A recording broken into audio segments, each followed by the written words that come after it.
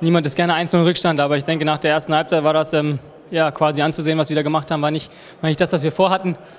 Und dann trotzdem, dann sieht man, was in der Mannschaft steckt, ähm, welche Moral steckt, welche, ähm, welcher Teamgeist in der Mannschaft steckt, dass man nach einem 1-0 Rückstand und nach so einer Leistung, die man in der ersten Halbzeit bringt, dennoch zurückkommt und das, den Schalter findet, sage ich mal, das ist nicht so leicht. Und da sieht man einfach, dass, es, dass wir eine, eine Mannschaft intakt sind und dass wir jedes Spiel gewinnen wollen. Wie hast du die Entwicklung zum Tor gesehen?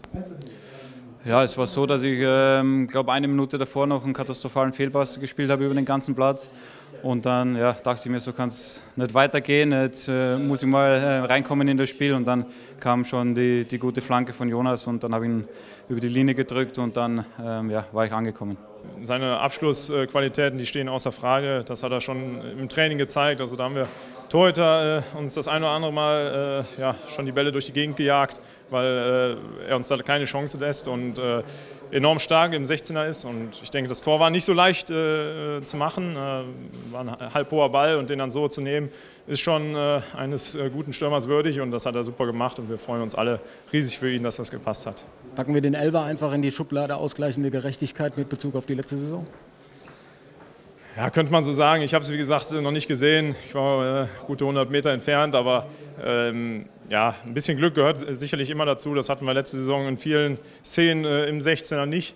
Äh, eher noch gegen uns dann und heute war es mal für uns und ich denke, ähm, das ist dann auch irgendwo mal gerecht, äh, auch wenn es für den HSV natürlich extrem bitter ist. Ich denke, sie hätten sicherlich heute auch einen äh, Punkt zumindest verdient gehabt. Wie erlebt man so die letzten Minuten in so einem Spiel als Trainer an der Seitenlinie?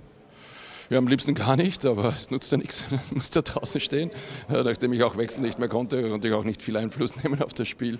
Ähm, ich glaube, dass wahnsinnig viel Unruhe war. Ähm, ich glaube auch, dass, äh, dass äh, auf der Hamburger Bank Unruhe war. Das äh, verstehe ich nach einer strittigen oder knappen Entscheidung. Das, das ist klar. Das, ähm, ja, und es war aber trotzdem etwas, was, was, was ich liebe am Fußball. Das heißt, also man hat nicht gemerkt, dass, äh, dass die Hamburger zu zehnt waren. Sie haben alles reingeworfen. Die Jungs waren leer.